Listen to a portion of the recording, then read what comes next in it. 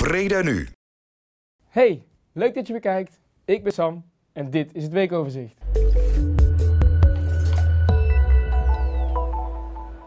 Afgelopen weekend was het natuurlijk Dierendag. De dag waarop elk beestje, groot of klein, in het zonnetje gezet werd. En onze verslaggever Hans die ging een kijkje nemen bij de open dag bij het dierenopvangcentrum.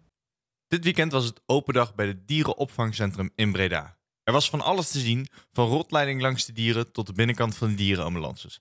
En natuurlijk kon je ook op bezoek bij de diertjes in de opvang. Ja, we zijn een opvangcentrum voor ieder hulpbehoevend dier. Dus of het nou honden of katten zijn, het kan ook zijn reptielen of andere in het wild levende dieren, zoals vogels, eh, maar ook reptielen. En die worden allemaal als vooropvang bij ons eh, opgevangen. Eh, dus onze dierenambulance, die rukken ongeveer 3000 keer per jaar uit. Dat zijn voor allerlei diersoorten. Die worden in eerste instantie bij ons opgevangen, dus reptielen hier. Nou we komen dadelijk nog bij, eh, bij andere verblijven. Maar alles behalve honden en katten gaat wel zo snel mogelijk door naar gespecialiseerde opvang. Ik ben dierenarts van eh Anicura Dierziekenhuis Breda. Wij zijn hier eigenlijk twee volledige dagen in de week. We zijn hier de volledige maandag, we zijn hier de volledige vrijdag. Werkzaamheden bestaan hoofdzakelijk uit het nakijken van gevonden dieren, van binnengebrachte dieren, dieren die in het asiel al zitten. Eh, vaccineren en ehm, standaard werkzaamheden gebeuren hier. Ingewikkelde werkzaamheden gebeuren op eh, de hoofdpraktijk. Alle katten worden hier gesteriliseerd of gecastreerd. Dus we hebben daar een aparte operatiekamer voor. Dus, eh, dus, en ook de gebitten worden behandeld. Het, streven is dat eigenlijk iedere kat als die geplaatst wordt, dat die, dat die volledig geënt, dat die gezond is en dat die ook gesteriliseerd is, dat die niet meer voor nakomelingen kan zorgen. Wat kunnen de mensen zoal zien vandaag hier? Nou, ze kunnen heel veel zien, Hans. Eh, vooral de katten, daar kunnen ze lekker bij kijken. De kittens, we hebben heel veel kittens zitten op het moment hier. Mensen kunnen met hun knuffeldier, vooral de kinderen, kunnen ze naar de dierendokter. Eh, ze kunnen meedoen aan de bingo, ze kunnen knutselen, ze kunnen meedoen aan de loterij, die heel leuk is. Eh, meedoen, nou niet zozeer meedoen, maar wel kijken buiten bij de honden. Eh, daar zijn ze aan het trainen, daar laten ze allerlei leuke dingen zien. Volgenrevalidatieopvang is er, dat zijn de mensen waar we mee samenwerken. De konijnenopvang, ook altijd erg leuk in ieder geval. En de dierenambulance staat buiten, dus ja, altijd heel leuk als je wil weten hoe dat de dierenambulance er van binnen uitziet. Dan moet je even een kijkje komen nemen. Gaat de laatste tijd steeds slechter met het milieu. Je ziet er een hoop over op het nieuws, je leest er wat over in de krant. Maar ja, wat doen we nou eigenlijk zelf om het milieu te verbeteren? Deze week in de Vraag op straat vroeg onze verslaggever Willem het aan de Bredaner. Wat doet u thuis om het milieu te verbeteren? Niks? Helemaal niks. Nee. Het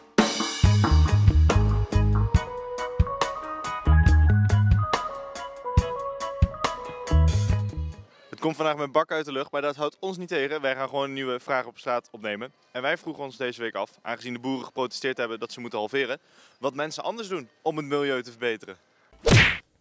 Ehm, zonnepanelen. Ehm, ik ben een van die mensen die al een warmtepomp heeft. Wat is een warmtepomp precies? Oeh, die vraag zou u eigenlijk niet moeten stellen. Maar minder plastic.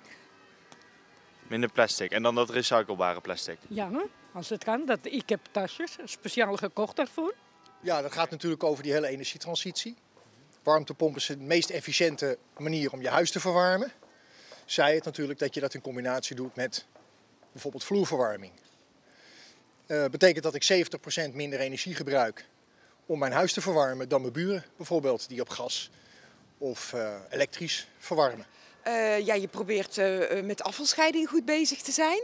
Ja. Ehm, ja, eh, ik denk om heel eerlijk te zijn dat het daar heel ver bij ophoudt. Eh, er zijn natuurlijk veel meer mogelijkheden. Je moet minder gaan vliegen. Eh, er is veel meer natuurlijk wat je kan doen.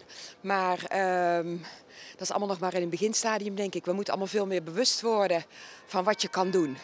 Je probeert je best te doen in ieder geval.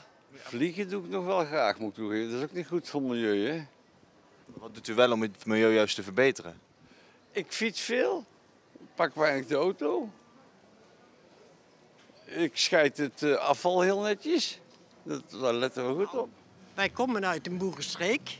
Dus die boeren die wij kennen, of die ik ken dan althans, die doen daar best veel voor.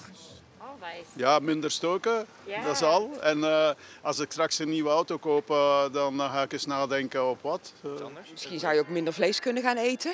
Oké. Heel belangrijk vind ik. Ja. Probeer ik ook.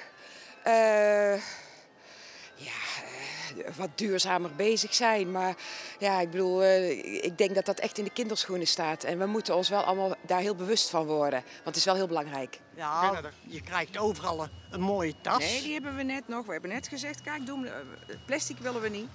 Nee? Nee, je hebt eh, net van de slager een tas en die neem ik altijd mee en dan laat ik alles in doen. Nou, dank.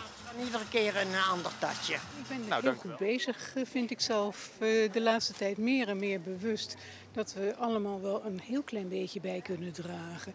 Dus het scheiden van dingen, eh, geen voedsel meer weggooien, maar dan gewoon maar eens een keer een, ja, een pannetje maken met van alles en nog wat erin. Met douchen, niet te veel water gebruiken.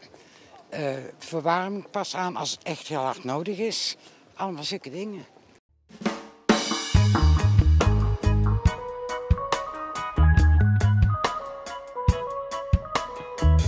De 34e editie van de Singeloop had Raw Organic Foods een prachtige hotspot klaargezet voor de deelnemers van dit leuke loopevenement.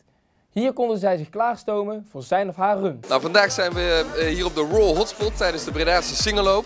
Eh Raw is een van de merken van de Bredaanse onderneming De Smaakspecialist. Wij staan voor verantwoorde voeding die ook heel erg lekker is. Ja, en voeding en bewegen, dat is natuurlijk onlosmakelijk aan elkaar verbonden.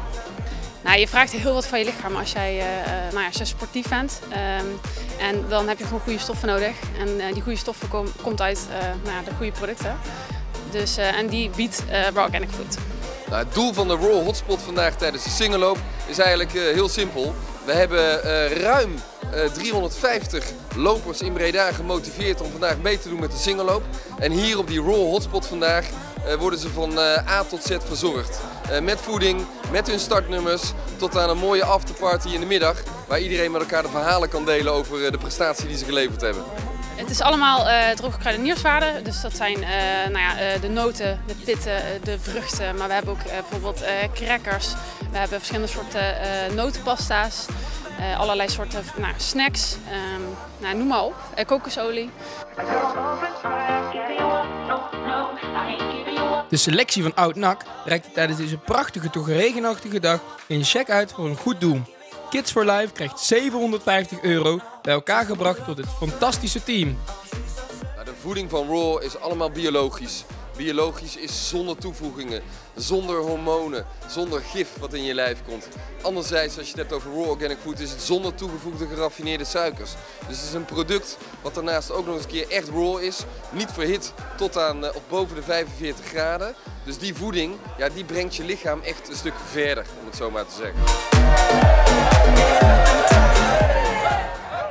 Zondag 6 oktober was het tijd voor de 34e editie van de Bredaanse Singeloop.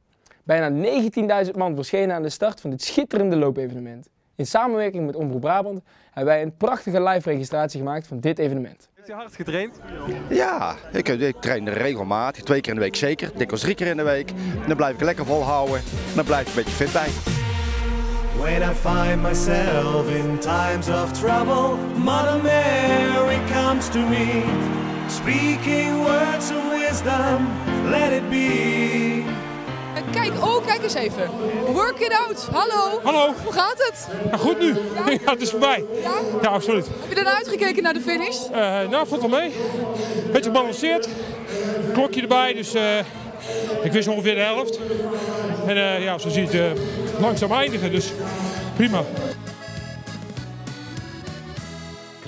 Ja, we gaan even kijken hier in het tentje, want hier gingen net de voetjes gingen van de vloer. Ik zag net dat de voetjes van de vloer gingen hier in de tent. Van de vloer, ja, zeker weten. Zeker weten. De sfeer zit er goed in hier vandaag. Nu al goed in, ja, zeker weten. Ondanks de regen, maakt niks uit.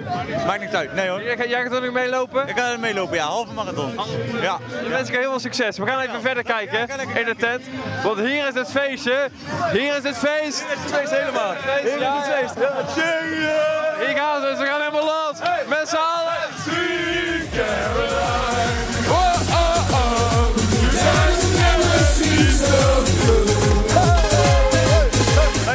Sfeer zit er hier goed in.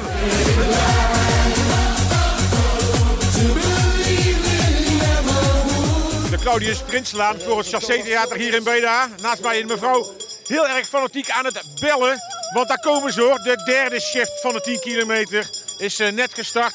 Die gaan zo voorbij komen. Het zijn er 3200, heb ik gehoord. 3200 deelnemers in die derde shift. En daar komen ze aan in de regen hier in Breda. Iets minder publiek dan normaal, maar dat lijkt mij logisch eh, door het slechte weer. En eh, als we naar de statistiekjes kijken, misschien altijd wel even leuk. Er lopen meer mannen hier in Breda mee dan vrouwen. 58% mannen en 42% vrouwen. En het publiek, ja, dat is natuurlijk eh, van alles wat. Mevrouw, u bent lekker aan het bellen, hè? lekker fanatiek. Eh, goed aanmoedigen. Dat is altijd fijn voor de mensen die lopen. Then you can start to make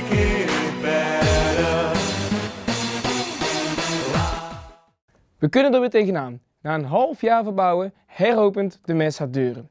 En ja, onze verslaggever Esther kon natuurlijk niet thuis blijven. Hey eh, Frank, ben jij een trotse man als directeur van de MES? Ik eh, ben meer als trots, ben zelfs een beetje ontroerd.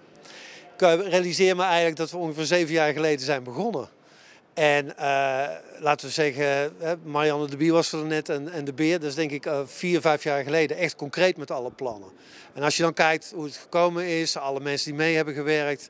Eigenlijk tot eh, de hele nacht door notabene om dit voor elkaar te krijgen. Ja, dat stemt je wel, nou ja, nou, heeft op een heel goed gevoel, maar meer als dat. We zagen het net ook. Ja, ja. Met, met je speech. Hey, mes op orde. En dan is natuurlijk mijn vraag, is de mes nu op orde? En wat is er allemaal op orde gemaakt?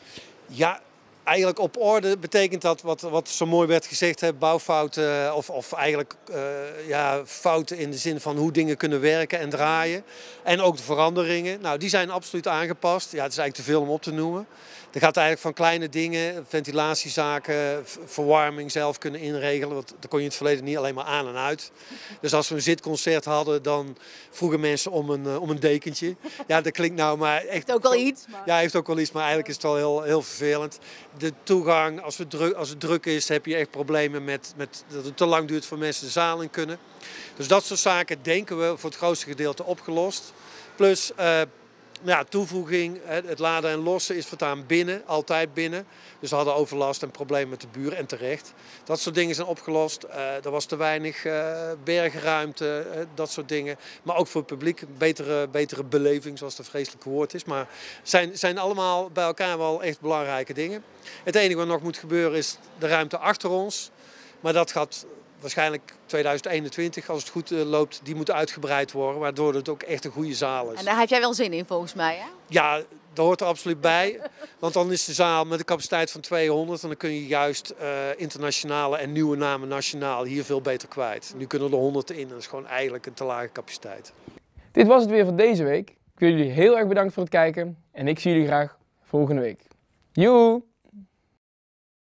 Breda nu.